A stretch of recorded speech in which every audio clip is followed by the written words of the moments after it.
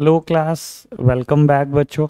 लो प्यारे बच्चों, आज हम एक और टेक्निक की चर्चा करने जा रहे हैं। बेटा, हम बात करने जा रहे हैं फटीक स्टडी की। तो बेटा, क्या बोलता है टेलर अपनी इस टेक्निक में? क्या मतलब है बेटा फटीक का? बेटा फटीक का ना सिंपल मतलब होता है, हिंदी में बोलूँ तो थकान।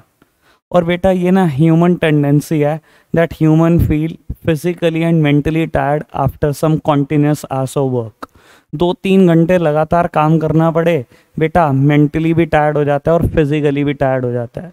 तो बेटा टेलर कहता है इस टेक्निक में कि आपको ना दो बातें डिटरमाइन करनी है।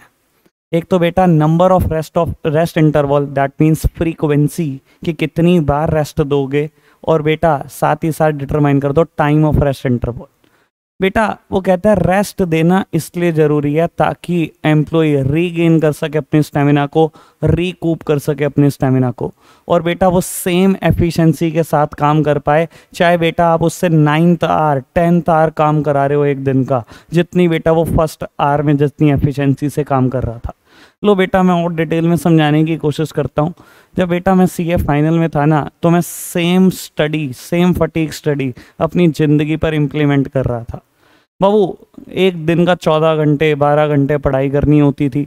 मेरा सिंपल सा सिस्टम था बेटा फ़र्स्ट आर में मैं 55 मिनट पढ़ूँगा फाइव मिनट का ब्रेक दूँगा। बेटा, ऐसा रेस्ट देने से होता क्या है बेटा? आप रीगेन कर जाते हो स्टेमिना को रीकूप कर जाते हो। तो बेटा सेकेंड आवर में भी मैं पाँच मिनट रेस्ट देता था फिफ्टी फाइव मिनट पढ़ता था। ऐसे बेटा मैं बारह घंटे पढ़ता था। मैंने बारह बार रेस्ट दिया अपने आप को पाँच पाँच मिनट का। तो फटीक स्टडी में दो बातें डिटरमाइन कर रही हैं। कितनी बार रेस्ट रेस्ट दिया बेटा? Frequency of rest interval that means number of rest interval और बेटा टाइम ऑफ़ रेस्ट इंटरवल पाँच पाँच मिनट बारह बार। मैंने बेटा अपने आप को साठ मिनट का रेस्ट दिया, यानी कि इफ़ेक्टिव पढ़ाई मैंने ग्यारह घंटे करी। अब बेटा एक आदमी वो भी बिठा दो जो बारह के बारह घंटे पढ़ेगा और मैं पढ़ूँगा बेटा बारह में से ग्यारह घंटे। यकीन मानना बेटा, मेरा आउटपुट बहुत ज़्यादा होगा उस आदमी से। आपको लग तो रहा होगा कि वो ट्वेल्व बार पढ़ रहा है, पर बेटा उसको आखिरी के दो तीन घंटे में तो समझ भी नहीं आ रहा होगा, वो पढ़ के आ रहा है। इतना दिमाग थकान फील करता है।